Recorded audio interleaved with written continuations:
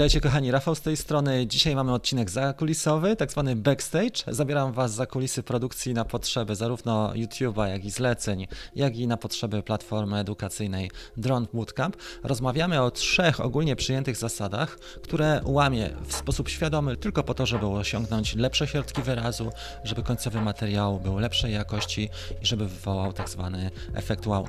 Wielokrotnie spotykałem się z pytaniami, jak coś takiego nagrałem. Ja też muszę Wam powiedzieć, że na przykład oglądając e, dwójkę naszych uczestników wyzwania Lataj na poziomie w maju tego roku, materiały tych uczestników wywołały u mnie efekt wow. I dzisiaj e, trochę na ten temat porozmawiamy.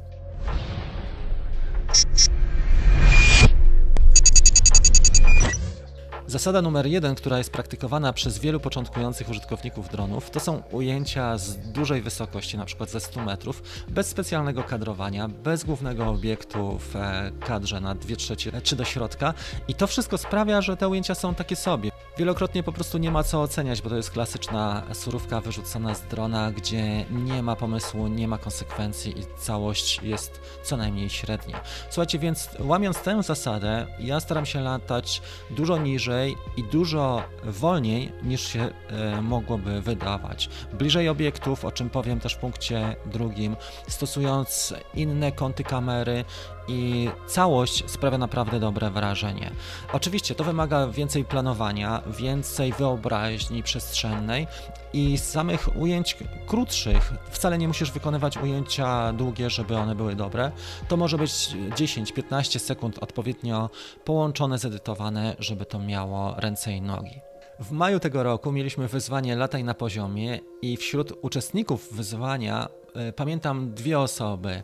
Dziewczynę Ago Ago, która mieszka na Wyspach Kanaryjskich i Jakuba z Wrocławia, którzy naprawdę zaskoczyli mnie fantastycznie, pozytywnie swoimi ujęciami i właśnie zastosowali to złamanie reguł. Warto takie rzeczy robić, warto eksperymentować tylko dlatego, żeby wyróżnić się, dlatego że dronów mamy coraz więcej. Dzisiaj, żeby zrobić coś wartościowego, musisz złamać pewne zasady.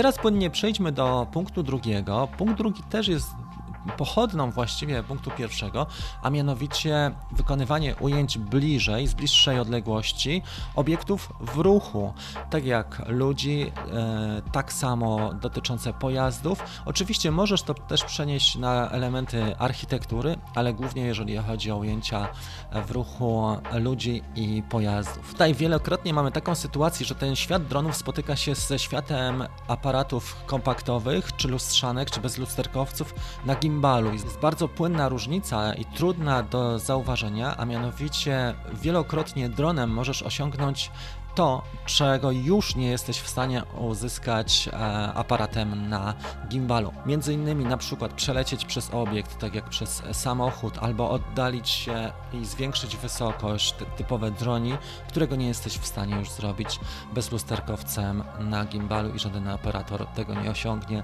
zwykłym sprzętem. I trzecia zasada, o której chciałbym powiedzieć, to jest wykorzystanie każdego sprzętu, zarówno tańszego, jak i droższego. Nie musisz mieć najdroższego sprzętu, najlepszej optyki, bo możesz tak naprawdę trafić w warunki, zaplanować sobie odpowiedni czas na wykonywanie ujęć. To niekoniecznie musi być samo południe i bezchmurne niebo. To może być na przykład godzina przed zachodem słońca i fajne, zachmurzone czy półzachmurzone, e, dramatyczne niebo. Druga sprawa to jest perspektywa. Stosując nawet tańsze urządzenia, takie jak kamerka Insta360 Go w wersji pierwszej możesz uzyskać fantastyczny efekt trzeciej osoby i pokazać ujęcia zupełnie z innej perspektywy. Ja staram się każdy sprzęt wykorzystać na maksa jak tylko mogę, ale też wykorzystuję te tańsze sprzęty. Nie obawiam się, że coś zniszczę, bo na przykład mogę dopiąć lepszą kamerę GoPro do taniego drona i dzięki temu już tak nie obawiam się, że zniszczę ten tę tańszą jednostkę, a jednocześnie mogę e, tym GoPro zarejestrować fantastyczny materiał, gdzie lecę na granicy ryzyka i gdzie te ujęcia naprawdę robią większe wrażenie. I to mniej więcej tak wygląda, jeżeli chodzi o łamanie tych trzech e, podstawowych zasad.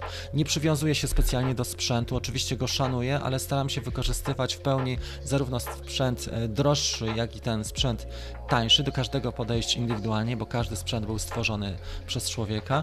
Jednocześnie staram się ujęcia wykonywać nie tylko obiektów e, architektonicznych, ale także obiektów w ruchu, takich jak auta czy ludzie w, e, po odpowiednim dobraniu prędkości, tak żeby było bezpiecznie zaplanowaniu ujęć. No i też staram się latać e, bliżej i niżej tych obiektów w taki sposób, żeby wykorzystać bardziej kąty, kąty też padania światła, ale kąty kamery, ustawienia, żeby to wszystko grało. Dzięki serdeczne za uwagę. Jeżeli podobał Ci się ten materiał, daj swój komentarz e, poniżej. Oczywiście zachęcam Cię do subskrypcji i do skorzystania z mojego darmowego warsztatu Filmujemy Dronem, gdzie omawiam te pierwsze kroki w powietrzu, jeżeli chodzi o wykonywanie ujęć i żeby to miało ręce i nogi i żeby dało Ci dużo satysfakcji. Dzięki za uwagę, widzimy się już niedługo w kolejnych epizodach. Do zobaczenia. Cześć!